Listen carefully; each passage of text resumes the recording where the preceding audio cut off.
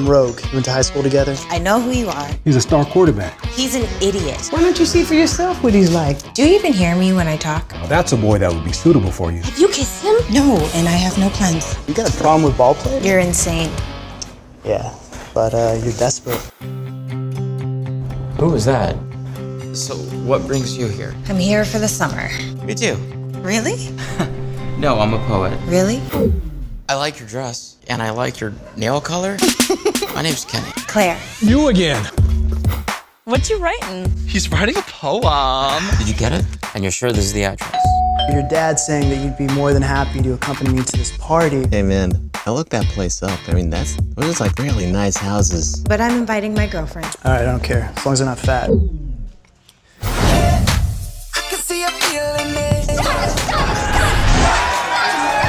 Let me introduce you to my future ex-wife, the beautiful Claire DuPont. Get it, girl! Bam! Bam! Bam! Come on, we're all gonna take a hit. I don't take hits.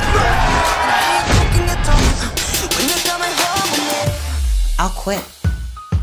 He's a really nice guy. A pretentious douchebag. And if you don't, you can kiss your tuition money goodbye. You know, she say anything? No. Excuse me. Did you just write something stupid?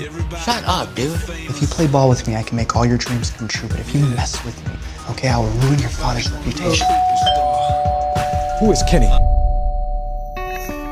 It's in my head, something old just won't go. We will hold the fort together no matter what the future holds.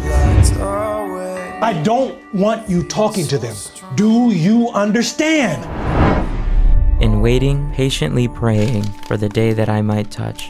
I try to be a bigger man. All of you with all of me, together where our souls are free. That is the ending I want to write for us. Forever after, happily.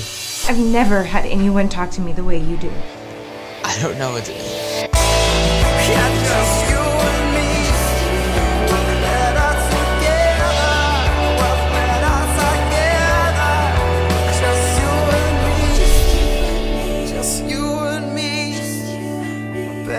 together, just you and me, just you.